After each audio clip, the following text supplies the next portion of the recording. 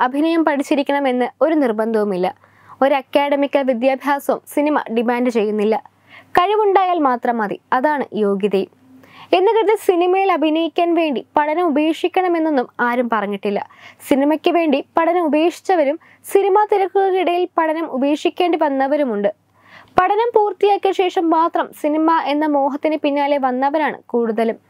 അത്തരത്തിൽ മലയാള സിനിമാ ലോകത്ത് നിന്നുമുള്ള ചില പ്രമുഖ നടീ നടന്മാരെ ആരൊക്കെയാണ് നോക്കാം.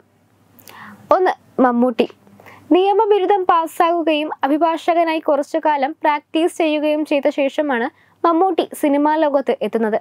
സിനിമയിൽ പല കഥാപാത്രങ്ങൾക്ക് വേണ്ടി മമ്മൂട്ടി വക്കീൽ കുപ്പായം അണിഞ്ഞിട്ടുണ്ട്. മോഹൻലാൽ. തിരുവനന്തപുരം മഹാത്മാഗാന്ധി കോളേജിൽ നിന്നും ബി കോം പഠനം പൂർത്തിയാക്കിയ ശേഷമാണ് മോഹൻലാൽ സിനിമയിൽ എത്തുന്നത്. അക്കാഡമിക് നോളജിനപ്പുറം കലയോടായിരുന്നു ചെറുപ്പം മുതലേ ലാലിന് താല്പര്യം. ആറാം ക്ലാസ്സിൽ പഠിക്കുമ്പോഴാണ് കമ്പ്യൂട്ടർ ബോയ് എന്ന നാടകത്തിലെ അഭിനയത്തിന് ലാൽ മികച്ച നടനുള്ള പുരസ്കാരം വാങ്ങുന്നത് പൃഥ്വിരാജ്. ഇംഗ്ലീഷ് ഭാഷ നന്നായി കൈകാര്യം ചെയ്യാൻ അറിയുന്ന പൃഥ്വിരാജ് വിദേശത്താണ് പഠിച്ചത്. ഓസ്ട്രേലിയയിലെ യൂണിവേഴ്സിറ്റി ഓഫ് തസ്മേനിയയിൽ ഐ ടിയിൽ ബി എ ചെയ്തുകൊണ്ടിരിക്കുമ്പോഴാണ് അച്ഛന്റെ മരണത്തെ തുടർന്ന് പൃഥ്വി നാട്ടിലെത്തുന്നത്. അവിടെ വെച്ചാണ് രഞ്ജിത്ത് നന്ദനം എന്ന ചിത്രത്തിലേക്ക് ക്ഷണിച്ചത്. പിന്നീട് പ്രതി സിനിമയിലേക്ക് തിരിഞ്ഞു. ദുൽഖർ സൽമാൻ. യു എസിലെ പ്രൗഡ് യൂണിവേഴ്സിറ്റിയിൽ ബിസിനസ് അഡ്മിനിസ്ട്രേഷനിൽ ബാച്ചിലർ ഡിഗ്രി ചെയ്ത ശേഷമാണ് ദുൽഖർ സിനിമാ ലോകത്തെത്തിയത്. ഫാദ് ഫാസിൽ. യൂണിവേഴ്സിറ്റി ഓഫ് മൈമിൽ ഒന്നര വർഷം എഞ്ചിനീയറിംഗ് പഠിക്കാൻ ശ്രമിച്ചു. എന്നാൽ അതിൽ ശ്രദ്ധ കൊടുക്കാൻ കഴിയില്ലെന്ന് മനസ്സിലാക്കിയ ഫഹദ് അതേ യൂണിവേഴ്സിറ്റിയിൽ ഫിലോസഫി പഠിച്ചു.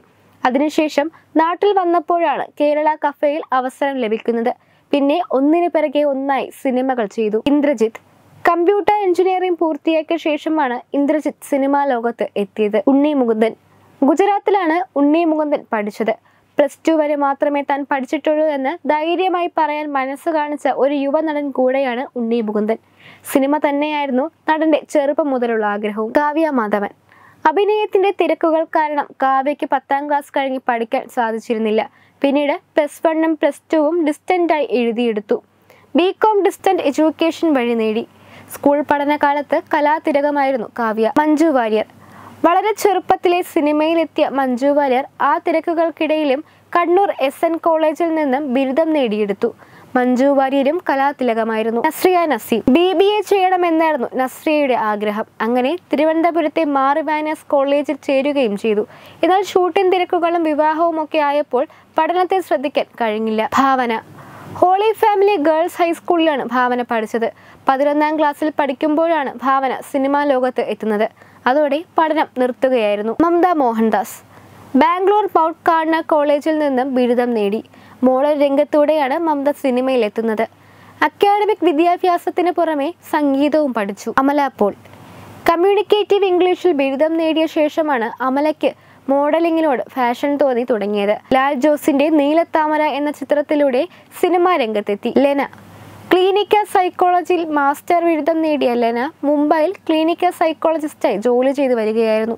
അതിനിടയിൽ വിവാഹവും വിവാഹമോചനവും നടക്കുകയും ടെലിവിഷനിലൂടെ അഭിനയ രംഗത്ത് പരിചിതയായ ലെന സിനിമയിൽ സജീവമാവുകയും ചെയ്തു.